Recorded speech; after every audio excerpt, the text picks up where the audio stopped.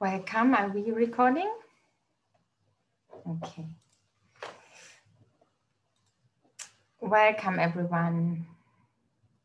Welcome to still the first day of the writing churning retreat. We had a beautiful start this morning with um, reflections and many, many insights from Wendy from Rome and um, we had some some technical uh, problems. You might have seen that. Maybe you weren't be able to enter. Now we have much more capacity, so tomorrow morning this will be um, fine. But you can find the recording on the YouTube channel, which has been sent to all registered participants. If you haven't received that, you can let us know and we will send it to you. Um, also to say that actually this retreat is really a very short um, notice in the sense that I think we had, uh, Stefania and I had the conversation something like a week ago. and it was a personal wish to have space for deeper thinking together and deeper um, uh, churning and, and writing and whoever uh, i mean thought came much much longer before and whoever uh, i talked about it to it um, said oh yeah this i like very much. Let's let's do this and it would be nice i would participate. But finally it really came started rolling last week. So it's a little bit of a wonder that um, you know in this short time over 400 partic- people participate um, registered and also all of this um, was falling into place. So it's a really good sign um, of a good flow, I think, and and seems to be in in in um, a need of the family to have time for digesting all the amazing input we get every day from Baba, as well as from so many wonderful instruments around the world. So thank you everyone for coming and supporting this. This afternoon session uh, is really about um, sharing personal reflections and also churn together in breakout groups um, and um, yeah, practice and, and experiment with different um, methods. And um, Stefania and I would like to start um, these afternoon sessions with some personal reflections and uh, about actually churning and writing itself. Therefore, uh, I would like to ask uh, you, Stefania, um, why are you participating in this in this uh, retreat? What is um, what is your deeper personal interest in in having a space for churning and writing? Yes, thanks for asking. Like you said, you you called me You're just low. Okay. yeah, better. Is it better now? Okay. Yes. Yes, you called me just over a week ago to and mentioned this idea of this retreat, and it felt like exactly what I had been looking for. And I think for myself, I just moved to a new country, and I knew that I would be staying quite a lot on my own because there is a very small Brahmin family here in Norway. And I really felt it was a very special gift in the drama. And I didn't want to let it just slip by. Uh, the gift of, of having time to be on my own. And so this came like a, yeah, like a special gift. And I feel that at this time, with everything that's kind of ahead of us, and the feeling is that the times we are living are so new, everything is so different. And I really feel that I want to find my authentic voice. Um, I want to live my own truth. I'm, I've been good at listening to things and, and kind of following what others say. That's something I I know quite well, but I now I feel that I've heard so many classes and that I really want to be able to go into the depth myself and find, you know, the how how I personally relate to the knowledge. So and I have been trying. Like I was, you know, I've I wanted to do it for some time, and now I feel that I really, you know, this seemed like a window into into that. So I think, yeah, I just want to be authentic and I want to be powerful, and I feel that um, a deeper way of churning is one of the things that I really need to increase for that. What about you, Caroline? Why did you have this mm. thought? I can totally connect to what you were saying. Um, often you, it's also said dialogue with oneself, with that authentic voice you mentioned.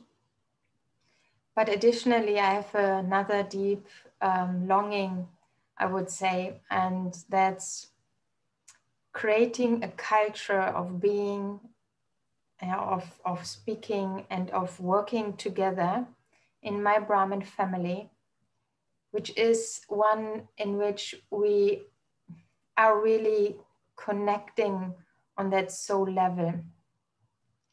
And Baba has given us such a wonderful gift with soul consciousness as a foundation of our life. But we also, I think, all have the experience that once we get into doing and talking and and working somehow this gets lost and a different culture of being and working together is being played out um, one in which we are not so much connected to the subtle subtlety of our being. Um, but maybe being caught up in numbers and action and you know programs and all of that, this demanding life we have, um, or which is also the life outside in the state of the world, which has become so fast and, and complex, and to cultivate a different mindset and a different consciousness whilst living in that world and whilst being together, whilst doing service together, uh, is something which um, which is really uh, my heart, uh, heart's desire. And I think also this is something we need to practice in little safe spaces um, where we can kind of, yeah, where we feel it's safe enough, enough to talk from my heart, to open up myself and um, say something which is really meaningful for me and maybe even making myself a little bit vulnerable in that. I would also like to mention that um, even outside of the Brahmin world, um, such kind of communication, of dialogue, and and deeper connection has always been um, there in, in the world, and specifically, I think, in indigenous cultures. Um, and one one format I really like very much is um, David Bohm's format of dialogue, and it was inspired by indigenous peoples who had the practice of coming together regularly and just sit in a circle and one after the other whenever he feels like took up uh, uh, some object for speaking uh, like a stone or something and started to share from his or her heart and then the next one and the next one and the whole group was very concentrated um, and really deeply listening to that individual, whoever was, whoever's turn it was. And there was an anthropologist who was observing this practice of the indigenous cultures of this, this group. And he found that at one point, somehow the dialogue was over and everyone knew what to do and they didn't had like planning of action like we would have service planning service meetings but they just knew everyone knew what would be the right thing to do after this very different form of sharing dialogue. And he didn't for a long time understand what that point was and how it, it was possible. And I think what Bohm then described, what was happening in this um, dialogue, is you tune into a different um, consciousness of being very in the very much in the present, very much connected to your own self. We would say soul conscious, um, very much connected to um, the other. And you listen deeply and you kind of tune in and together create a perspective out of many different uh, individual perspectives. You create a bigger perspective, like a holistic view on reality. And this is also the creation of a collective consciousness, like because now everyone shares each one's vision. And that can be very, very powerful. And um, yeah, I from from my own experience, I know this takes a bit of time in a group to create this kind of um, sharing and, and level of, of conversation and I would say um, magic, which uh, can evolve through this. But it's, it's a practice and we can use these afternoon sessions today and the next um, four days, coming day, four days to do that. And so um, we have some guidelines, which um, most of you have already received via email. Um, which are supposed to be helping us in developing that culture of communication with each other. Um, and maybe you can just screen share them.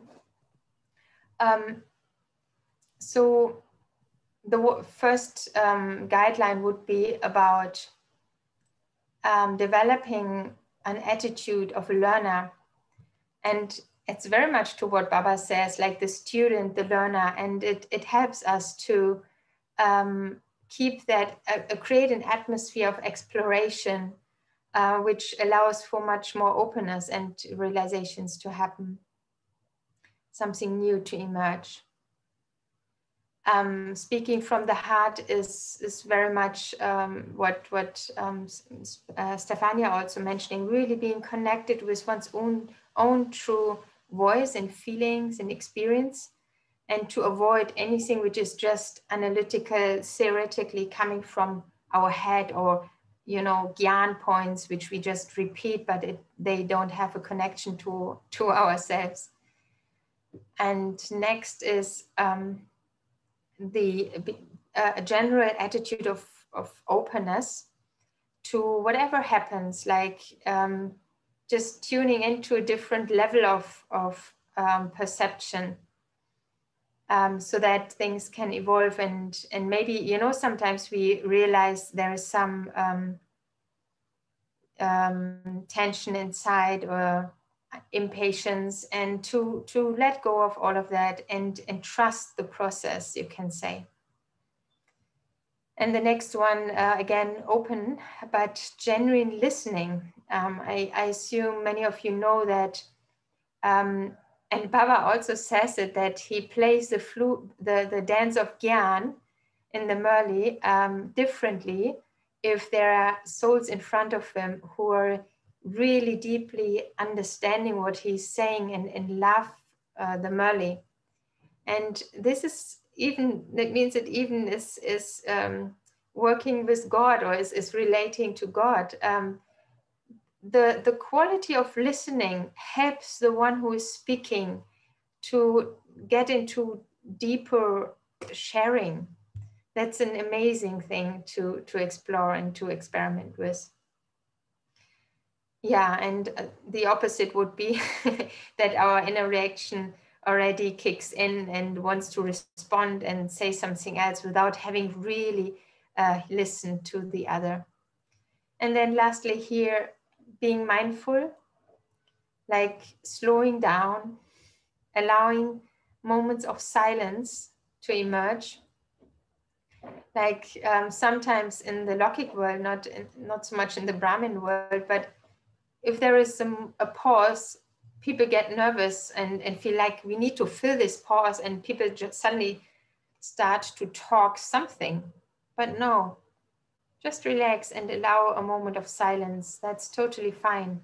It's, it's very rich moment and that also is a good sign of, of a good dialogue.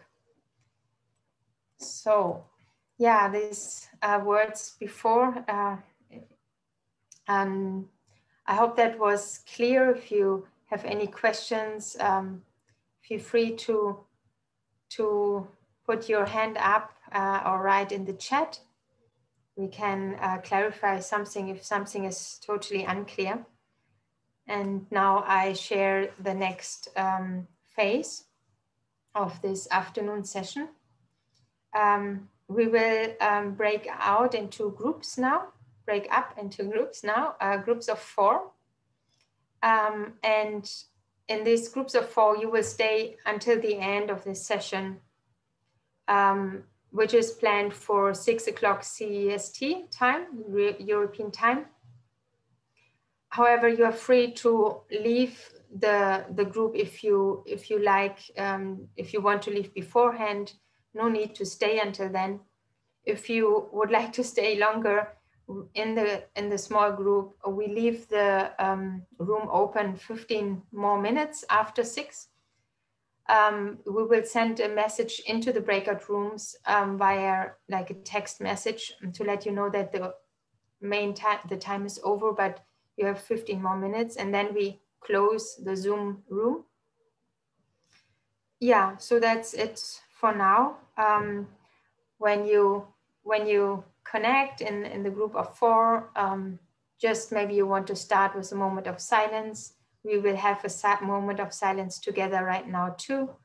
But um, yeah, so um, that's so far. And we also have um, quest uh, uh, two questions, which Stefania will include um, in the next final part before we leave you, uh, we, we let you go into the groups. I didn't see any questions in the chat, so it seems everything is good. And um, yeah, wonderful you are there. And uh, I hand over to you, Stefania. Thank you. We thought before going into the groups, it would be valuable just to take a few minutes um, to connect with ourselves. Uh, each one of us, because it becomes so much more valuable when we share, when we have time first to really connect within and, and connect with what it is that we would like to share.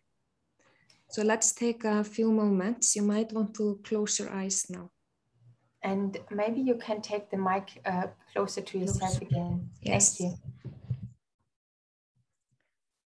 You might want to close your eyes.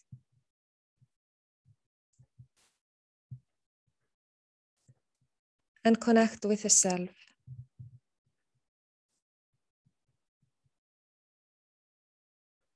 The true, authentic self.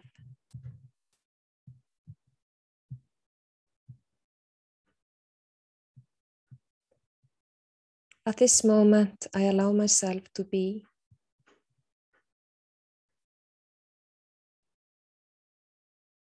And I allow myself to be open.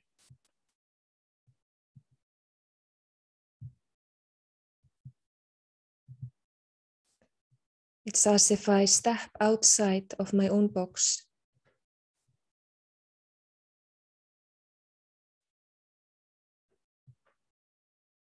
I step into the open.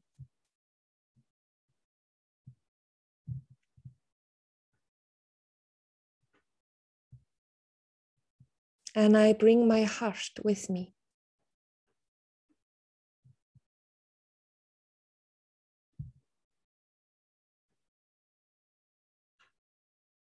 It's as if I start thinking with my heart.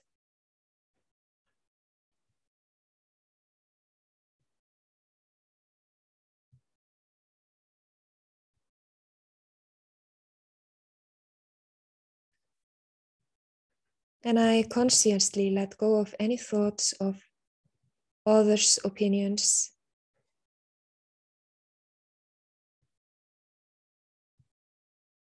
About me or about what I say. I drop all of that.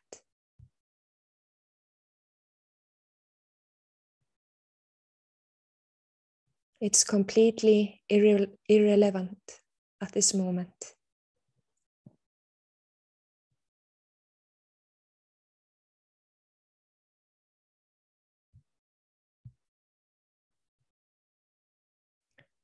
And now I ask myself Was there any point, any aspect from today's class with Sister Wendy? Or if I didn't see the class, any point from a recent Murli?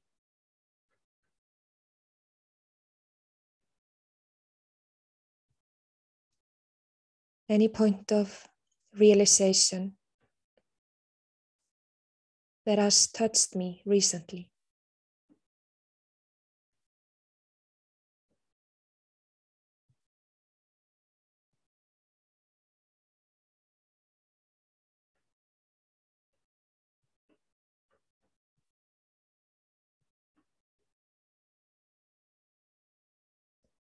Is there any point from this morning's class with Wendy, from a recent Murli, or from another class, something that has touched me?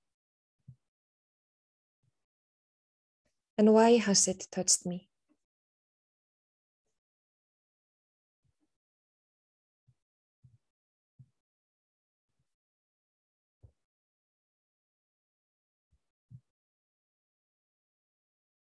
Why did that point speak to me?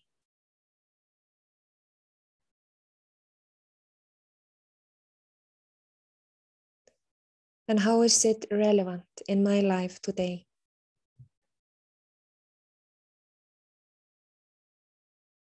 How can I how can it change something in my being, my way of being or in my life?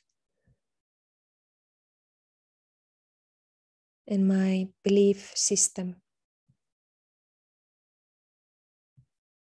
How can I use it for transformation?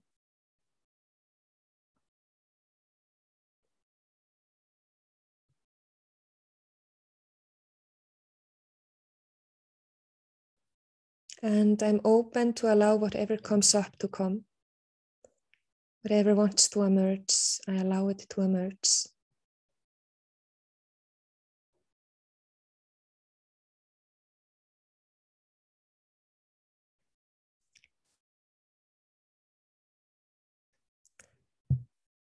And I'm now going to put to share the screen uh, those questions that were mentioned in the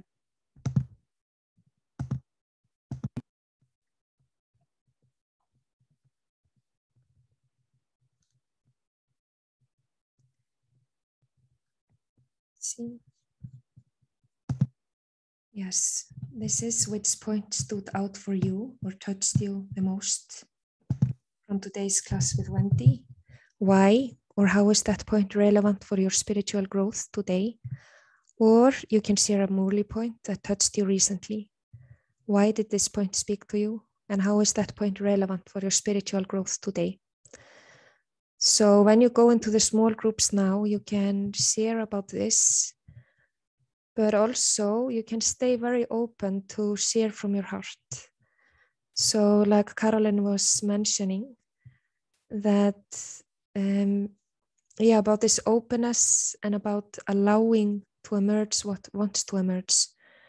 So even if suddenly you want to share something else than this, those questions, if you feel that you know it's meaningful for the conversation you're having feel free to also think outside of the box. And it's good if you keep in mind the guidelines that were shown. And it's good to allow time of silence moments of silence in between your sharings like from one person to the next. It's good to allow time in silence to digest. Just enjoy the energy of what has been shared so if there are no questions, um, is there anything you want to add, Caroline, before we go into the groups? No, I think it's all clear. Wish you beautiful conversations and see you again tomorrow morning. Om Shanti. I now start the breakout groups and you will automatically be uh, led to the small groups.